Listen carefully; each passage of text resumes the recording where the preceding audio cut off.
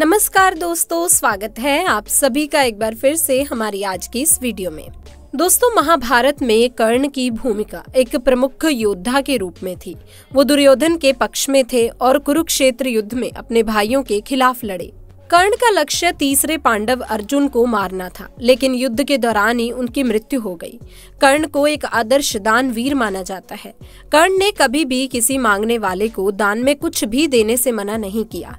भले ही दोस्तों, इसके परिणाम स्वरूप उसके अपने प्राण संकट में क्यों ना पड़ गए हों।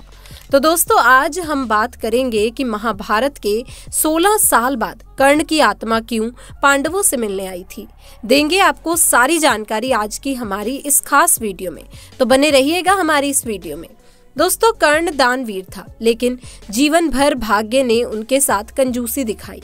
जन्म के साथ ही माँ का साथ छूट गया। माँ ने बदनामी के डर से कर्ण को जन्म देने के साथ ही बक्से में बंद करके गंगा में प्रवाहित कर दिया।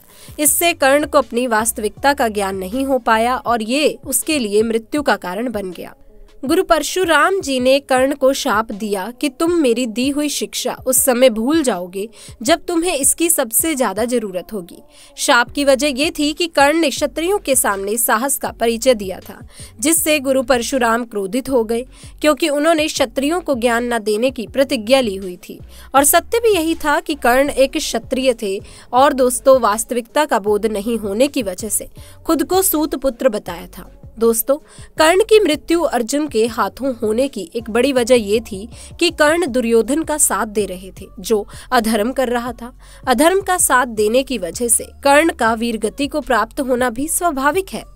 तो दोस्तों, महाभारत काल में एक से बढ़कर एक शक्तिशाली योद्धा हुए थे।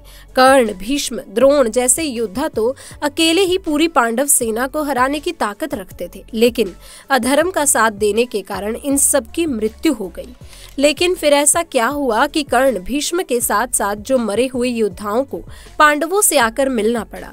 ये कथा मूल महाभारत के आश्रमवासी पर्व की है और महाभारत के युद्ध के 16 वर्ष बाद की है। जब गांधारी कुंती, धृतराष्ट्र संन्यास लेकर वन में रहने लगे। लेकिन पांडवों को अपनी माता कुंती की ज़्यादा चिंता होती थी, इसीलिए एक दिन पांडव उनसे मिलने आए थे। दोस्तों, जब पांडव कुंती से मिलने जाते हैं, तब वहाँ महर्षि वेद व्यास मुनियों के साथ आ जाते हैं। पांडव और धृतराष्ट्र महर्षि वेद व्यास के साथ कुंती, गांधारी, सुभद्रा दिव्य कथाओं की चर्चा करने लगते हैं। तभी महर्षि वेद व्यास धृतराष्ट्र से कहते हैं कि महाराज, आपके हृदय में जो कहने की इच्छा हो, शीघ्र ही कह डालो। मैं सब कुछ जानता हूँ। आप निरंतर अपने मरे हुए पुत्रों के शोक में जलते रहते हैं।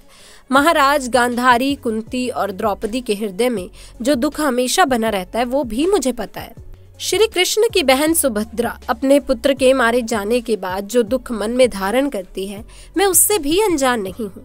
मैं आप सभी की समस्या को दूर करने के लिए ही आया हूँ। बताइए, आपको कौन सा वरदान प्रदान करूँ? वेद व्यास जी की बात को सुनकर धृतराष्ट्र ने कुरुक्षेत्र युद्ध के बारे में बताया कि कैसे दुर्योधन की मूर्खता के कारण कई सारे योद्धा मारे गए। दूसरे देशों के राजा दुर्योधन की सहायता करने के लिए आए थे। वो भी मृत्यु के घाट उतार दिए गए। धृतराष्ट्र की सारी बातें सुनकर वहाँ बैठे सभी लोग मरे हुए योद्धाओं के बारे में सोचकर शोक करने लगे। ये सारी बातें सुनकर माता गांधारी वेद व्यास से कहती हैं, मेरे पुत्रों को मरे हुए सोलह वर्ष बीत गए, लेकिन राजा धृतराष्ट्र आज भी अपने पुत्रों के शोक में हैं। वो आज भी उनके शोक में विलाप करते हैं। आप तो अपने तपोबल से दूसरी सृष्टि का निर्माण भी कर सकते हैं। तो एक बार राजा धृतराष्ट्र को उनके मरे हुए पुत्रों से मिलाना। आपके लिए कौन सी बड़ी बात है? द्रौपदी मुझे अपनी सारी पुत्र वधु में सबसे अधिक प्रिय है। बेचारी के भाई, बंधु, पुत्र सभी मारे गए, जिससे बहुत ही दुखी रहती है। श्री कृष्ण की बहन सुभद्रा हमेशा अपने पुत्र अभिमन्यु के वध से दुखी रहती है। जब गांधारी ने ये कहा, तब कुंती ने अपने महातेजस्वी पुत्र कर्ण को याद किया। तब महर्षि वेद व्यास ने कुंती को देखा तो उन्होंने उनसे पूछा कि, देवी, आप क्यों शोक में डूबी हो? कुछ कहने की इच्छा हो तो कहो।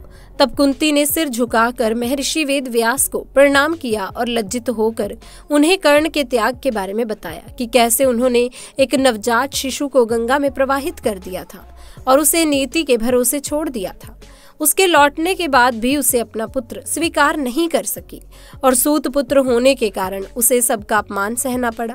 सबकी बातों को सुनकर मुनिवर वेदव्यास ने कहा, आज सारा संसार मेरे तपोबल को देख ले। हे गांधारी, आज रात को तुम अपने पुत्रों, भाइयों, उनके मित्रों को देख पाओगी। कुंती कर्ण को, सुभद्रा अभिमन्यु को और द्रौपदी अपने पाँचों पुत्रों को देखेगी। महर्षि वेद व्यास के वचन को सुनकर सभी बहुत खुश हुए। जब रात होने को आई, तब मुनिवर वेद व्यास जी के बताए अनुसार नदी के किनारे सभी लोग आ गए। जिसके बाद वेद व्यास जी ने जल में प्रवेश करके गौरव और दोस्तों पांडव पक्ष के मरे हुए योद्धाओं का आवाहन किया, जिसके बाद भीष्म, द्रोण, सारे राजा अपनी सेना के साथ वहाँ पर प्रकट हो गए।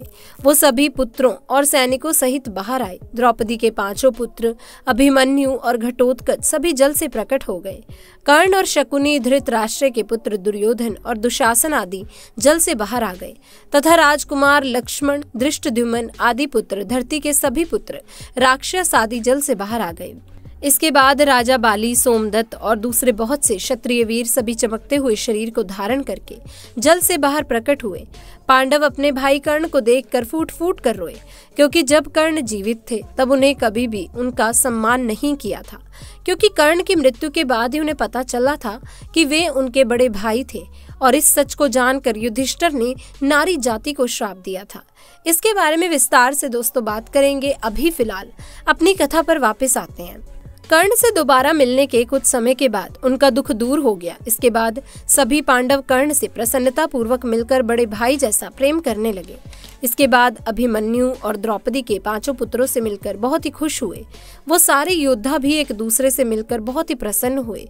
इस प्रकार मुनि वेद व्यास जी की कृपा से सभी अपने क्रोध को भूलकर, शत्रुभाव को छोड़कर हर्ष मनाने लगे। ऐसा लग रहा था जैसे उनके बीच कोई दुश्मनी ना हो। कौरव और पांडव अपनी दुश्मनी भूलकर कुरुवंश की दो भुजाओं की तरह प्रतीत होने लगे। वेद व्यास जी के तपोबल की शक्ति देखकर सभी बहुत प्रसन्न हुए कि उन्हें ऐसे लोगों से मिलने का मौका दोबारा मिला, जिन्हें उन्होंने युद्ध की वजह से खो दिया था।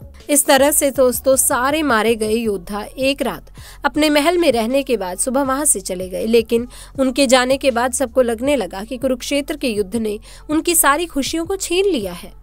क्या दोस्तों आप महाभारत के इस रहस्य को जानते थे? कैसे सभी कौरवों और पांडवों के मरे हुए उनके परिजन किस तरीके से उनसे मिलने दोबारा आए? आप भी हमें कमेंट्स में ज़रूर बताइएगा। अब बात करते हैं उस समय की जब कर्ण की मृत्यु हुई और युधिष्ठर ने संपूर्ण नारी जाति को श्राप दे डाला था। आखिर क्या था वो श्राप और क्यों दिया था? कुरुक्षेत्र के युद्ध के सत्रहवें दिन, कर्ण और अर्जुन में एक भयंकर युद्ध हो रहा था। युद्ध के दौरान जब रथ का पहिया भूमि में धस गया तो कर्ण ने अर्जुन से कहा कि, हे अर्जुन, तुम दो घड़ी प्रतीक्षा करो, जिससे मैं इस फंसे हुए पहिए को निकाल सकूँ। मेरे रथ के पहिए को फंसा हुआ देखकर तुम छल मत करना। कुंती कुमार जिस मार्ग पर कायर चला करते हैं, तुम उस मार्ग पर मत चलना। क्योंकि तुम एक कुशल योद्धा हो। तुम्हें तो अपने आप को और भी ज़्यादा श्रेष्ठ साबित करना चाहिए। इसीलिए जब तक मैं इस फंसे हुए पहिए को निकाल रहा हूँ, तब तक तुम रथ पर चढ़कर मुझ पर प्रहार मत करना।